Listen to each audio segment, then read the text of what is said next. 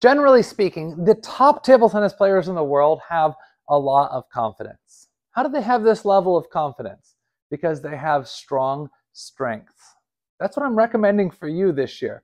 I know that you keep telling your coach that you need to fix this weak point and this weak point and this weak point, but put those on pause for a few weeks and focus on developing stronger weapons. As you develop stronger strengths, then you're going to be able to play with more confidence. Why?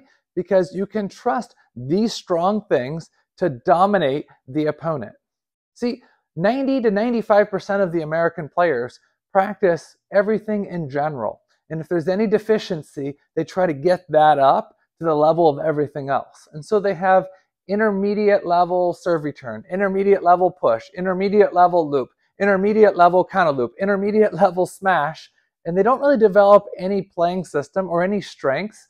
What you really need to do is make out a list. Here are my top three strongest things. I'm going to focus this year at getting those things up and then see how my confidence is. As you develop stronger and stronger shots, you're going to have the foundation to give you a stronger mental game so that you can play with more confidence. I've said this many times and I'll say it many more times in the future.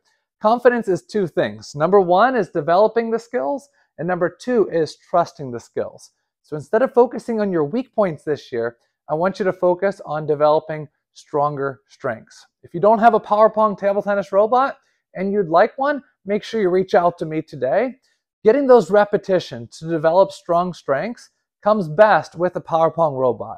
They're always available. They're easy to program and you can get as many repetitions as you want. I'll see you soon.